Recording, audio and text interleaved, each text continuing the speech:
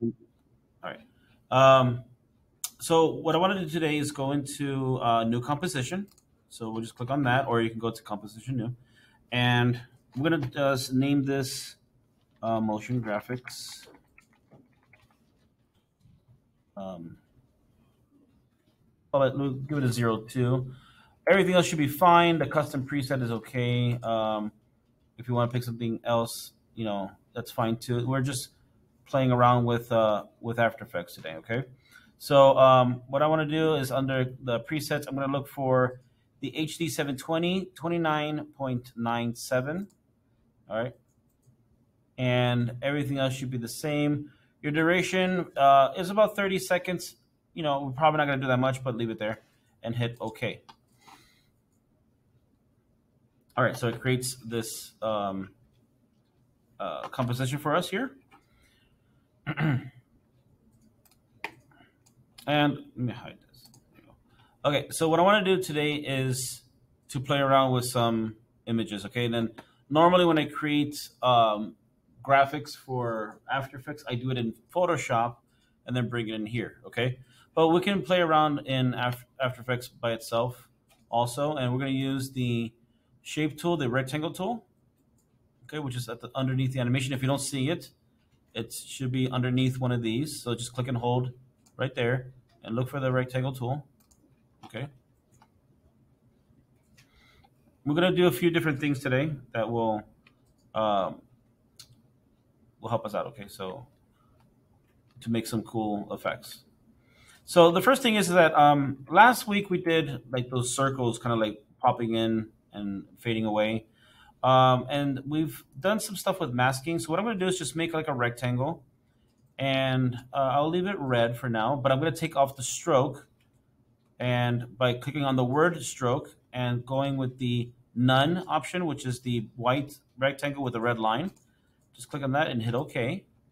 And what that does, it gets rid of the line that goes around the stroke. Okay, so your rectangle could be any size. It doesn't have to be exactly like mine, like this. The whole process is going to be the same way right? Now I have this um, red bar here. If I want to change the fill or the color, so the first thing is fill, and you have none also here. You have a solid color, which is what it is now. You have a linear gradient and a radial gradient. Just so you know what a linear gradient looks like, it looks like that, okay? And uh, that's a normal gradient, which you can move, uh, hit OK, for example, and you can move uh, this so it can affect the gradient however you want. You can change its direction. All right, we're not going to do this. This is just I'm just showing you what we can we can do. And then uh, radial gradient is this one where it goes from the middle. And oh, sorry, hit OK, and you can change that. Uh, if you change the angles, it doesn't really matter because it's a circle. Okay. To change the color in either the radial or the linear, you just click on this here. Okay, on the actual little um, preview of it and you have these two uh, little indicators here that can change the color. So for example, if I go to red, on this first one, it turns red in the middle, okay? And you can move these uh, little indicators however you want to intensify how much red and how little uh, of the other color it is. Right now the other color is black, so if I select this one here and change it to, let's say like a, a yellow, okay, like that, you can do that. You can also move this and uh, this also kind of like uh, fixes some things. But um, if you click here in an empty area, it'll create another little indicator and then you can change that one to a different color. So let's say, oh, you can also move them around. Let's say I want the yellow in the middle and the red at the end outside. So it looks like a sun or something, some kind of flash. Again, you can change that right there. All right. If you don't like this white one anymore, you can always just hit delete and it'll go away. But again, if you just hit an empty area, you can do that. I can do one right here in the middle. um, and normally when you do the in the middle of like between two colors, like here, I'll delete this one. Like right about here, um, you can select the range, but then you can just change it to something else. Let's say orange. Like in uh, orange area more like there, not so brown. And then play around with this. And this, again, same thing in Photoshop. So you can do whatever you want. You can if you drag it off like I just did like that, it'll delete it too. So you don't have to hit that button. Okay. But that's how it works. Okay.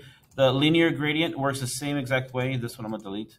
Uh, so you just change the color to whatever you want. I'll put red back here. And again, you can change, oh, once you hit OK, you can change the angle of that too. So it's like maybe like this or whatever you want, okay? Um, but for now, I'm not going to do that. I'm going to put it back to solid. Sorry, uh, under the word fill. I'm going to put it to solid. So it's just a solid red. And then if I choose to go back and maybe change it, I will, okay? Um, but those are the things that we can do in order to change the shape color. Okay, so fill is for the inside of the shape. The, the box next to it is for how it looks, whether it's a solid or a gradient. Stroke is for the outsides, the outline, outside line. And then this box does the same thing too, where you can put uh, a color or a gradient, however you want to. Okay. So what I want to do now is I want to do something where uh, this, let me get my move tool. Okay, I'm going to place it like right in the middle, somewhat in the middle. And I want to do something where it kind of appears, all right? Now, I could do one thing where if I were to grab the edge of here, see what happens? I can extend it like this, all right? So I have that option. Same thing this way, so I can change the shape on the fly. If you grab the corners, it goes in all directions, all right? Um, I want to create a mask over this. All right. So with the shape layer selected, I'm going to select that same rectangle tool that we did before. All right. And I'm going to draw a mask over it. Okay. Now it comes out red. Hold on a second.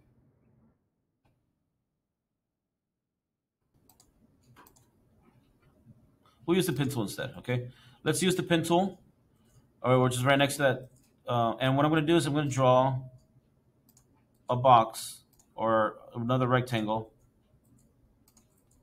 and I want a mask.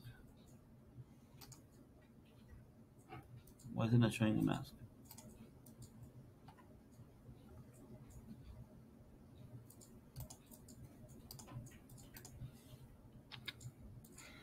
Hold on a second. I'm doing something wrong. Bless you, I think.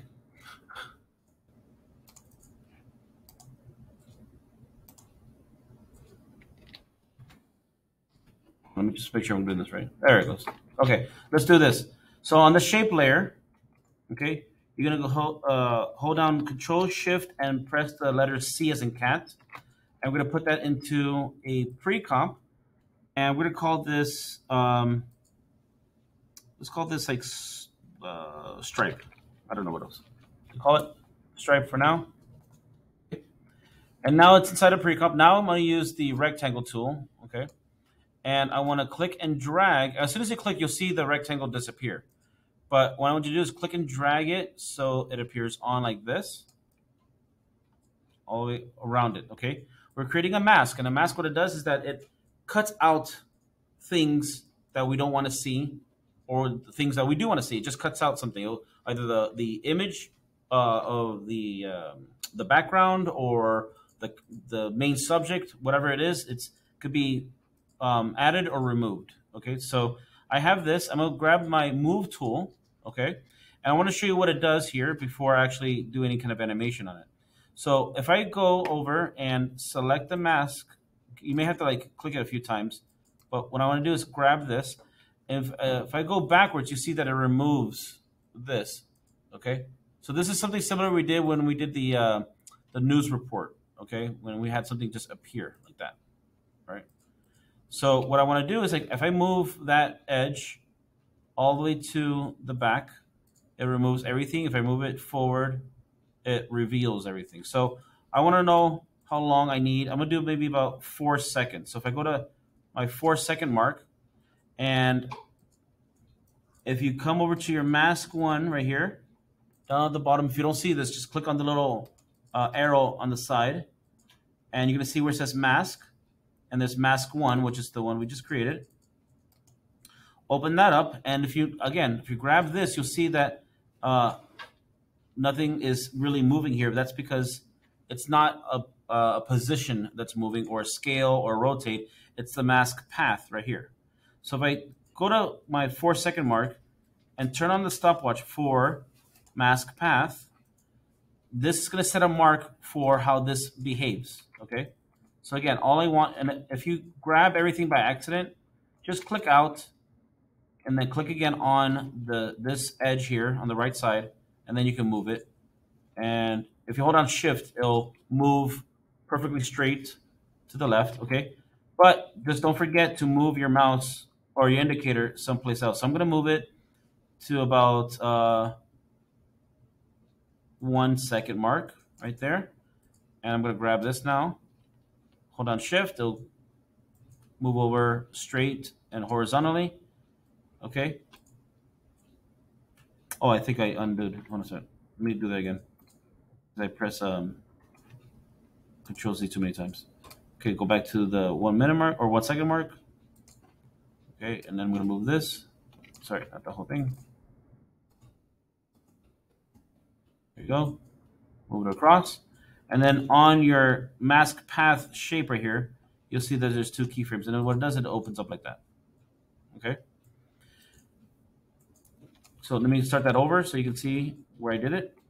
Okay, so always keep in mind that sometimes, not not sometimes, most of the time in After Effects, it's best to work backwards. Like know where it's supposed to end, and then go back to the beginning to do it. Um, and so I'm gonna grab that. Oh, oh sorry. Uh, set a key right there. So let's turn on the stopwatch, and then I'm gonna grab this and move it backwards. No, sorry. Go to your frame first. Go to your one minute, one second mark. Then grab this. Go All the way back. And then um, After Effects will automatically set the second key for you. Our second key is technically our first key, but that's because we're working backwards. So when we hit uh, scrub, we'll see that it reveals the rectangle.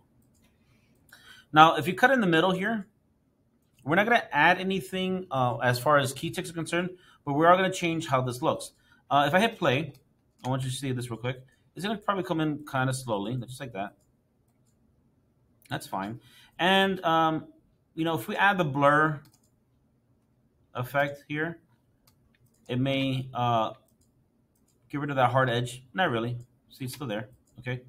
But I want to feather this. Okay. So if you don't understand what feathering means, basically it's kind of like fading out the edges a little bit. So feathering is done in drawing when you kind of like make shadows. And so you have a hard shadow and then it gets softer and softer as it goes away. That's feathering. Okay. In Photoshop, we do the same thing. Right here in our masks, we have mask feather. Okay. Now we can animate this because there's a stopwatch next to it. Anytime you see uh, something blue, it's most of the time it's you can animate. Uh, but all I need to do is just add a feather. So if you go uh, right now, it's linked because the top and bottom are linked to the left and right sides of the mask. Okay, uh, we can leave it alone, or we can turn off that mask. But if you go to one of those numbers and just click and drag, you'll see that it fades off right there. I'm gonna go really high so you can see that it fades. Let me get in closer also. Okay, you can see it fades off like that. So if I come over here, see how I'm at the beginning where it's not supposed to be revealing anything, but it shows a little bit there. I got to be careful with that because uh, it's supposed to be gone. So here I have to lower it so that it is gone. And I'm going to go lower it all the way.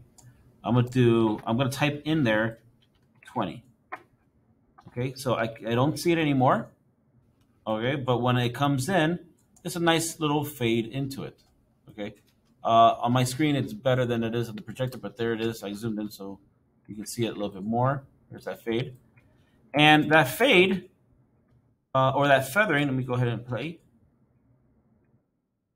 Gives it like a nice little blur effect as well, but it also feels like less uh, robotic or less like digital. It has like maybe like more organic feel to it. Now, in my point here, I'm happy with the overall movement. I'm happy with the with the feathering.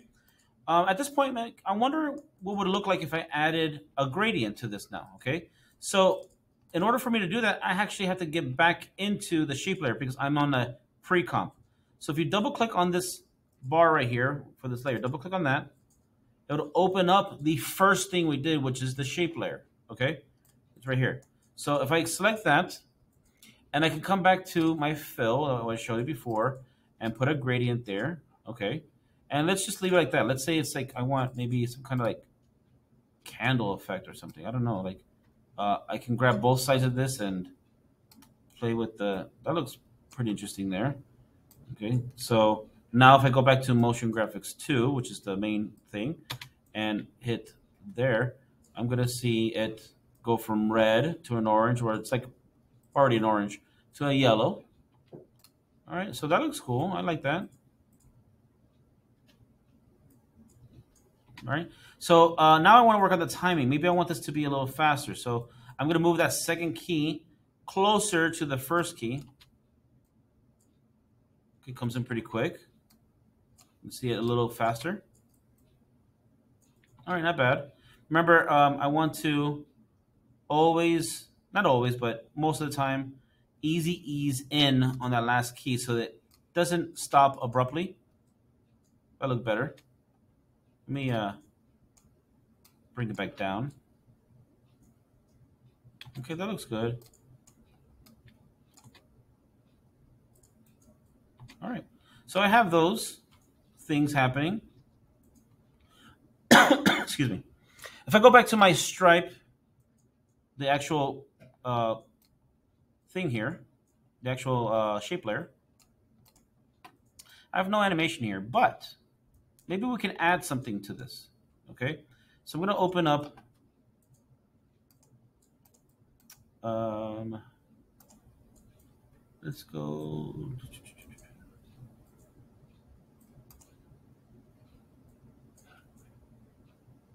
Let's see what we can do. We can also change this too, by the way, guys. So if we go to your uh, pen tool and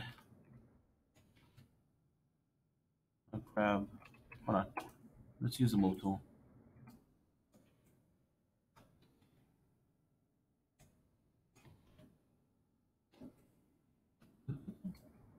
And maybe I'm confusing it.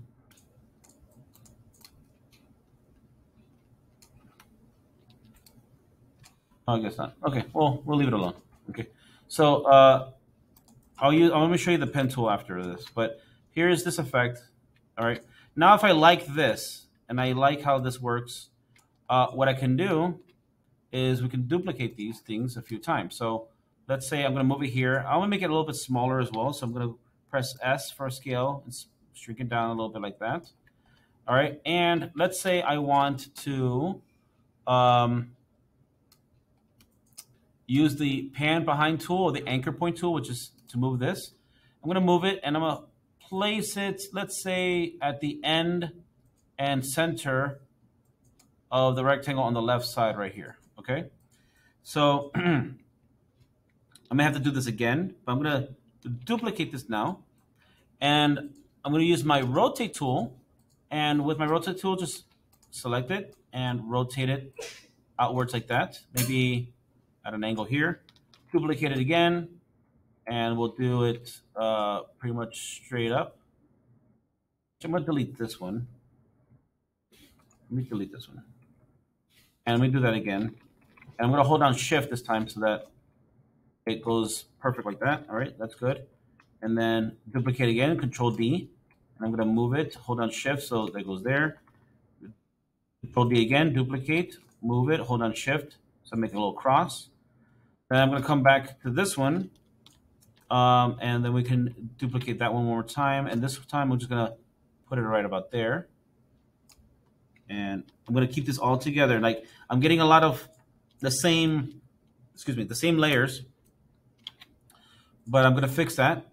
I'm to move it so it's right about in there. I'm just to eyeball this right now. Like I think that's good. Duplicate that one, move it down. I see right there. And duplicate that one, last one. So I make this like the star effect. Okay, so now what I want to do is grab my move tool and I'm to shift select all of these so I know what they are right here. Okay, and to help me better understand which ones I'm using, I'm to change the color of these to something like red. Okay, so I know that these are the same. And then I can move this one up and I can keep them all together so that they are um, in, in the group. So the brown ones here are the, the cross, the outside, and the red ones is the X. Okay, now with the X, I'm going to select scale on all of those and make it a little bit smaller so it looks like that. And then what's this? Once I have that shape completed and done, I go back to the beginning and hit play. Wait, sorry. Oh, wait. After Effects is going to crap on me. Hold on. Let's give it a second.